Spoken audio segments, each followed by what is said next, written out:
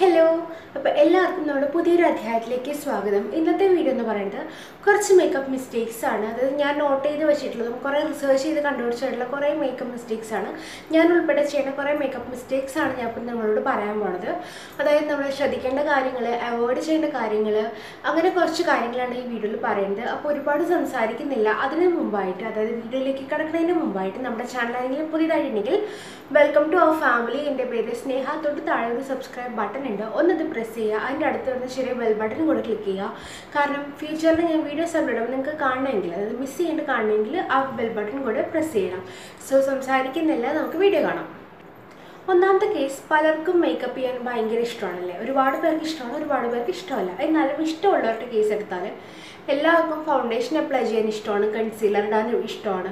ഇതൊക്കെ ഇടാൻ ഇഷ്ടമുള്ള ആൾക്കാർക്ക് പലർക്കും പ്രൈമർ യൂസ് ചെയ്യണം എന്നുള്ള കാര്യം മറന്നു പോകാറുണ്ട് അപ്പോൾ അങ്ങനെയുള്ളവരൊന്ന് ഓർമ്മിപ്പിക്കുകയാണ്. നമ്മൾ മേക്കപ്പ് അപ്ലൈ ചെയ്യുന്നതിന് മുമ്പ് നമ്മുടെ ബേസ് ഒന്ന് സെറ്റ് ചെയ്യാൻ വേണ്ടി നമ്മൾ ഡെഫിനറ്റ് ആയിട്ടും ഒരു പ്രൈമർ അപ്ലൈ ചെയ്യണം.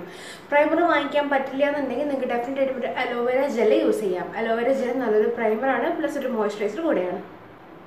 പിന്നെ നമുക്കൊക്കെ ഇഷ്ടമാണ് വാട്ടർ പ്രൂഫ് മസ്കാര ഉപയോഗിക്കാൻ അല്ലേ നമുക്കറിയാം വാട്ടർ പ്രൂഫ് മസ്കാര ഒരുപാട് നേരം ലാസ്റ്റ് ചെയ്യും. നമ്മളിപ്പോൾ കുറച്ച് വേർത്താലും നമ്മുടെ കണ്ണിന്റെ ചുറ്റുമൊന്നും അങ്ങനെ ഇതാവത്തില്ല.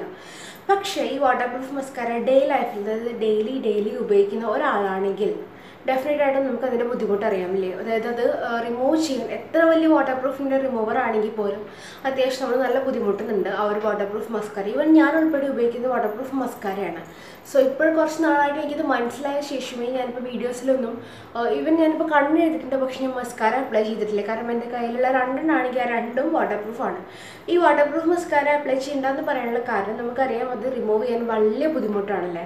സോ റിമൂവ് ചെയ്യുമ്പോൾ നമുക്കത് പെട്ടെന്ന് നമ്മൾ വളരെ മൈൻഡ് അല്ലെങ്കിൽ വളരെ സോഫ്റ്റ് ആയിട്ട് നമ്മളത് റിമൂവ് ചെയ്യാൻ ശ്രമിക്കുമ്പോൾ അത് പോരത്തില്ല ഇങ്ങോട്ട്. നമ്മൾ കുറച്ച് ഹാർഷായിട്ട് ഇങ്ങോട്ട് എന്താ പറയുക എടുക്കുമ്പോൾ അതിന്റെ കൂടെ നമ്മുടെ ലാഷസും കൂടെ വരും. അതായത് നമ്മുടെ ലാഷസിന് ഈ water proof mascara in day ലൈഫിൽ ഉപയോഗിക്കുന്നവർക്ക് അത്ര നല്ലതല്ല. അങ്ങനെയുള്ളവർ ഡെയിലി ഉപയോഗിക്കുന്ന ആൾക്കാരാണെങ്കിൽ സാധാരണ മസ്കാരാസ് ഉപയോഗിക്കുന്നതാണ് നല്ലത്. ഒരു ഇരുപത്തിയഞ്ച് ശതമാനം പേര് ശ്രദ്ധിക്കുന്നതും എന്നാൽ ഒരു എഴുപത്തിയഞ്ച് ശതമാനം പേര് ശ്രദ്ധിക്കാത്തതുമായിട്ടുള്ളൊരു കാര്യമാണ് നമ്മുടെ എക്സ്പയറി ഡേറ്റ് ഏത് മേക്കപ്പ് പ്രൊഡക്റ്റിനും അതായത് ഇപ്പോൾ ലിപ്സ്റ്റിക് ആയിക്കോട്ടെ ലിപ് ലൈനർ ആയിക്കോട്ടെ എല്ലാ മേക്കപ്പ് പ്രോഡക്ട്സിനും എക്സ്പയറി ഡേറ്റ് എന്നൊരു സംഭവമുണ്ട്. അപ്പം നമ്മൾ അത് ഉപയോഗിച്ചാലും ഇല്ലെങ്കിലും എല്ലാത്തിനും എക്സ്പയറി ഡേറ്റ് ഉണ്ട്. അപ്പോൾ ഈ എക്സ്പയറി ഡേറ്റ് കഴിഞ്ഞ സാധനങ്ങൾ നമ്മൾ ഉപയോഗിക്കുകയാണെങ്കിൽ നമ്മുടെ സ്കിൻ അതുമായിട്ട് റിയാക്ട് ചെയ്യും. അതുമായിട്ട് ആക്ട് ചെയ്യണതിനേക്കാളും അതുമായിട്ട് റിയാക്ട് ചെയ്ത് നമ്മുടെ മുഖത്ത് പിമ്പിൾസ് അങ്ങനത്തെ കുറേ കാര്യങ്ങൾ ഉണ്ടാവും. റിങ്കിൾസ് ഏജിങ് ഒക്കെ നമ്മുടെ മുഖത്ത് സൈഡ് എഫക്റ്റ് ആയിട്ട് വരുന്നതായിരിക്കും. അപ്പോൾ അതുകൊണ്ട് നിങ്ങൾ ഏതൊരു മേക്കപ്പ് പ്രൊഡക്റ്റ് ഉപയോഗിക്കുന്നതിന് മുമ്പായിട്ട് ഡെഫിനറ്റ് അത് വാങ്ങിക്കുമ്പോൾ നിങ്ങൾ ശ്രദ്ധിക്കണം. അത് നിങ്ങൾ വാങ്ങിച്ച് കഴിഞ്ഞിട്ട് നിങ്ങൾ ഓരോ യൂസിലും നിങ്ങൾ അതിന്റെ എക്സ്പയറി ഡേറ്റ് കഴിഞ്ഞിട്ടില്ല എന്ന് ഉറപ്പ് വരുത്തിയിട്ട് മാത്രമേ പ്രൊഡക്ട്സ് ഉപയോഗിക്കാവും. ബ്രോൺസർ അപ്ലൈ ചെയ്യാൻ എല്ലാവർക്കും ഇഷ്ടമാണല്ലേ? നമ്മുടെ മുഖത്തിന് നല്ലൊരു ഡെഫിനേഷൻ തരും. കുറേ സ്ലിമ്മർ ആക്കി കാണിക്കില്ല? നമ്മുടെ ഒരു ബ്രോൺസർ അപ്ലൈ ചെയ്യുമ്പോൾ പക്ഷേ പലരും ബ്രോൺസർ അപ്ലൈ അപ്ലൈ ചെയ്യുന്നത് വളരെ തെറ്റായിട്ടാണ് ഞാൻ കണ്ടത്. ലൈക്ക് ഒരുപാട് പേർക്ക് അറിയില്ല ബ്രോൺസർ ചില ആൾക്കാർ കഴുത്തിനൊക്കെ ബ്രോൺസർ വാരിത്തേക്കുന്ന കാണാം. അങ്ങനെയൊന്നും ചെയ്യേണ്ട കാര്യമില്ല. ബ്രോൺസർ അപ്ലൈ ചെയ്യാൻ വളരെ ഈസിലി ആയിട്ടുള്ളൊരു വേ ആണ്. നമ്മൾ കുറേ ക്രാഫ്റ്റിന്റെ വീഡിയോസിലും ഫൈവ് മിനിറ്റ് ക്രാഫ്റ്റിന്റെ വീഡിയോസിലൊക്കെ ഒരുപാട് ഞാൻ കണ്ടിട്ടുണ്ട്. നമ്മുടെ ഇവിടെ തൊട്ട് ഇങ്ങനെ ഇങ്ങനെ ഒരു ത്രീ ഷേപ്പിൽ ജസ്റ്റ് ഒന്ന് വരച്ചു കൊടുക്കുക നമ്മുടെ ബ്രോൺസർ സ്റ്റിക്ക് കൊണ്ട്. ദെൻ ഒന്ന് ബ്ലെൻഡ് ഔട്ട് ചെയ്തെടുക്കുക അതാണ് ബ്രോൺസർ അപ്ലൈ ചെയ്യാനുള്ള ഏറ്റവും സിംപ്ലസ്റ്റ് ആയിട്ടുള്ള വേയും ഏറ്റവും കറക്റ്റ് ആയിട്ടുള്ള വേയും ഇനിയുള്ളത് ഒരു ക്ലെൻസറിന്റെ കാര്യമാണ്. അതായത് നമ്മളിപ്പോൾ മേക്കപ്പ് ഡെയിലി ചെയ്യുന്ന ആളാണെങ്കിൽ ഡെഫിനറ്റായിട്ട് നമ്മൾ ബ്യൂട്ടി ബ്ലെൻഡർ ഉപയോഗിക്കും ബ്യൂട്ടീന്റെ ബ്രഷസ് ഉപയോഗിക്കും അങ്ങനെയുള്ള കാര്യങ്ങളൊക്കെ ഉപയോഗിക്കും അല്ലേ? നമ്മൾ ഡെയിലി അത് ഉപയോഗി ഉപയോഗിച്ച് ഉടനെ കഴുകി വെക്കുന്ന ആൾക്കാരൊന്നുമില്ല അപ്പോൾ ഡെയിലി ബേസിസിൽ ജോലിക്ക് പോകുന്ന ആൾക്കാരൊക്കെ ആണെങ്കിൽ ഈ ക്ലാസ്സിലൊക്കെ പോകുന്ന ആൾക്കാർ ഇപ്പോൾ മേക്കപ്പ് ഡെയിലി ഉപയോഗിക്കുന്ന ആൾക്കാരാണെങ്കിൽ നമ്മൾ എപ്പോഴും എപ്പോഴും ഈ സാധനങ്ങളൊക്കെ എടുത്തുകൊണ്ടിരിക്കും. ഇപ്പോൾ ഇന്ന് ഉപയോഗിച്ച് ഇന്ന് തന്നെ കഴുകി വെക്കാനൊന്നും പോസിബിൾ ആയിട്ടുള്ള കാര്യമില്ല അല്ലേ? അപ്പോൾ നമ്മൾ എന്താണെന്ന് വെച്ചാൽ രണ്ടാഴ്ച അല്ലെങ്കിൽ ഒരു മാസം കൂടുമ്പോൾ ഒരു തവണയെങ്കിലും നമ്മളിതൊക്കെ ഹൈലി ഹൈലി ഹൈലി ക്ലീൻ ചെയ്ത് വെക്കണം. നമുക്ക് ക്ലീൻ ചെയ്യണമെങ്കിൽ നമ്മുടെ ക്ലെൻസർ ഉപയോഗിക്കാം. ഇപ്പോൾ ക്ലെൻസിങ് ഓയിലൊക്കെ ഉപയോഗിക്കുന്ന ആൾക്കാരാണെങ്കിൽ നമുക്ക് ക്ലെൻസർ ഉപയോഗിച്ച് ചെയ്യാൻ പറ്റില്ല. അപ്പോൾ അതിന് പകരം നമുക്ക് ബേബി ഷാമ്പു വെച്ചിട്ട് ഇതൊന്ന് വാഷ് ചെയ്തെടുക്കാം. ഇത് ഓൾമോസ്റ്റ് എല്ലാവർക്കും അറിയുന്ന കാര്യമാണ്. എങ്കിലും ഒന്നും കൂടെ ഞാൻ ഓർമ്മിപ്പിക്കുകയാണ് നമ്മുടെ ബ്ലഷർ അപ്ലൈ ചെയ്യുമ്പോൾ. നമുക്കറിയാം നമ്മുടെ ആപ്പിൾ സോഫ്റ്റ് ചീക്ക് ഒന്ന് ഹൈലൈറ്റ് ചെയ്ത് ഇങ്ങനെ ഒന്ന് ഒന്ന് എടുത്ത് നിൽക്കാനും ഒന്ന് തിളങ്ങി നിൽക്കാനും വേണ്ടിയൊക്കെയാണ് ഒരു ഒരു നമുക്കൊരു നാച്ചുറാലിറ്റി കിട്ടാൻ വേണ്ടിയിട്ടാണ് നമ്മൾ ശരിക്കും നമ്മുടെ ബ്ലഷർ അപ്ലൈ ചെയ്യുന്നത്. അപ്പോൾ ബ്ലഷർ അപ്ലൈ ചെയ്യുമ്പോൾ നല്ല രീതിയിൽ മുഖം സ്ട്രെയിറ്റ് ആയിട്ട് വെക്കുക. അതിന്റെ കൂടെ ഒന്ന് ചിരിച്ചും കൂടെ വയ്ക്കുമ്പോൾ നമുക്ക് ഈ ഒരു ആപ്പിൾ സോഫ്റ്റിക്ക് ഉയർന്നു വരും. സോ ആ ഉയർന്നു വരുന്ന ഭാഗത്ത് നമ്മൾ ബ്ലഷർ അപ്ലൈ ചെയ്ത് കൊടുക്കുകയെന്നുണ്ടെങ്കിൽ നമുക്ക് കുറച്ചും കൂടെ പെർഫെക്റ്റ് ആയിട്ട് നമ്മുടെ ബ്ലഷർ വൃത്തിയിൽ കിട്ടും. പലരും ചെയ്യുന്ന വലിയൊരു മിസ്റ്റേക്ക് ഞാൻ ഈയിടെയായിട്ട് കണ്ടതാണ്. അതായത് നമ്മൾ കൺസീലർ ഉപയോഗിച്ചു അല്ലെങ്കിൽ ഫൗണ്ടേഷൻ എല്ലാം ഉപയോഗിച്ച് എല്ലാം സെറ്റ് ചെയ്ത് ബ്രോൺസറൊക്കെ ഉപയോഗിച്ച് നമ്മുടെ മുഖം ഫൈനലി ആയി. പക്ഷേ പലരും ചെയ്യാത്തൊരു കാര്യം അത് നമുക്കൊരു സിൽക്കി പോലെ മുഖം ആവണമെന്ന് പറഞ്ഞ് പലരും ചെയ്യാത്ത അല്ലെങ്കിൽ പലരും ഇപ്പോൾ ഒഴിച്ചു വിടുന്ന ഒരു എന്താ പറയുക ഒരു കാര്യമാണ് നമ്മുടെ ലാസ്റ്റ് സെറ്റിംഗ് പൗഡർ ഉപയോഗിക്കാത്ത അല്ലെങ്കിൽ ഒരു കോമ്പാക്ട് അല്ലെങ്കിൽ ഒരു ലൂസ് പൗഡർ ഒന്നും ഉപയോഗിച്ച് മുഖം സെറ്റ് ചെയ്യാത്തത്. നമ്മുടെ മുഖത്തിന് എപ്പോഴും ചേരുക ഒരു മാറ്റ് ഫിനിഷാണ് ഈവൻ അത് ഓയിലി സ്കിൻ ആയിക്കോട്ടെ ഡ്രൈ സ്കിൻ ആയിക്കോട്ടെ കുറച്ചും കൂടെ നമുക്ക് പെർഫെക്റ്റ് ആയിട്ട് എപ്പോഴും കംഫർട്ടബിൾ ആയിട്ട് നിൽക്കുക മാറ്റ് ഫിനിഷാണ് സോ ആ ഫിനിഷിങ് കിട്ടണമെങ്കിൽ ഡെഫിനറ്റ് ആയിട്ടും നമ്മൾ ഒരു കോമ്പാക്ട് പൗഡറോ അല്ലെങ്കിൽ ഒരു ലൂസ് പൗഡർ ഉപയോഗിച്ച് നമ്മുടെ മുഖം സെറ്റ് ചെയ്യണം. ആ ഒരു സെറ്റ് ചെയ്ത ഫ്ലോലെസ് ഒരിക്കലും നമ്മളിത് സെറ്റ് ചെയ്യാത്ത മുഖത്തിന് കിട്ടത്തില്ല.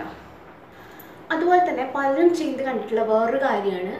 ഞാനധികം അത് ചെയ്യാറില്ല. എന്തോ ഇതുവരെ ചെയ്യാൻ തോന്നിയിട്ടില്ല.